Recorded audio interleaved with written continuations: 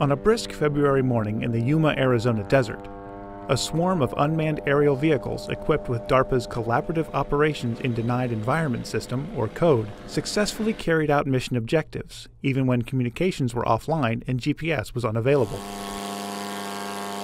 One by one, six RQ 23 TigerSharks lifted off, fitted with an array of sensors on board. Next to the runway at the U.S. Army's Yuma Proving Ground, the mission team inside a small operations center tracked the aircraft and another 14 virtual planes on an aerial map. The capstone demonstration paired Program Performer Raytheon's software and autonomy algorithms and Johns Hopkins University Applied Physics Laboratory's White Force Network to create a realistic, live virtual constructive test environment. During four demonstration runs, the team marked aircraft for virtual disablement to see how well they could complete their objectives in suboptimal conditions.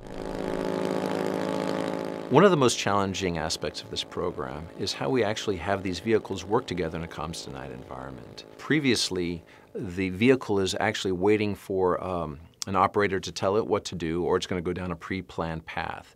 Well, in this scenario, what you have is different threats popping up or changes in the environment which make the system want to change. And so as the system is making these changes, if it doesn't have access to the operator, it could still do so as long as it's following the rules of engagement. The TigerSharks employed in the demonstration are surrogate assets for code.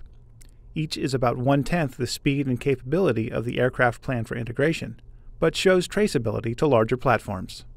It's easy to uh, take uh, the code software and move it from uh, platform to platform, both from a computer perspective but also from a, a, vehicle perspective. It can be an unmanned aircraft, could be a manned aircraft, could be a, a ground vehicle. The concept that was used in code is play-based tactics, and so you can create new tactics relatively easily to go from mission to mission.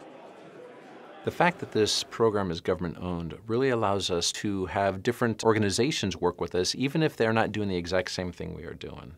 Uh, for instance, there are many times when the Air Force and the Navy are doing parallel efforts, uh, and rightfully so because they have different objectives. What we're trying to do with code is set the foundation that is government owned so that if they want to come in and use all the work that we've done, they could take that and then modify it to suit their needs. The Naval Air Systems Command, NAVAIR, will take ownership of code after DARPA closes out the agency's role in the program this year.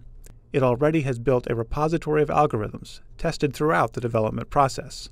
What we're doing with the laboratory that we've set up is not just for the Navy or NAVAIR. We're trying to make our capabilities available throughout the entire DoD community. So if the Army wanted to be able to leverage what DARPA Code has done, we provide them not only with the software, but an open development environment with all the proper security protocols already taken care of. In addition to that, we have a cadre of people who have hands-on real knowledge with the system, who are actually working hand in hand with the contractor, helping them add capability and fix capability so that if the Army or the Air Force or any other DoD entity wanted to add a capability, we can help them set up their lab and get it started. So we, want, we see ourselves as being not only a naval resource, but as a DoD resource. That ease of transition puts Code Technologies on a clear path to assist deployed service members.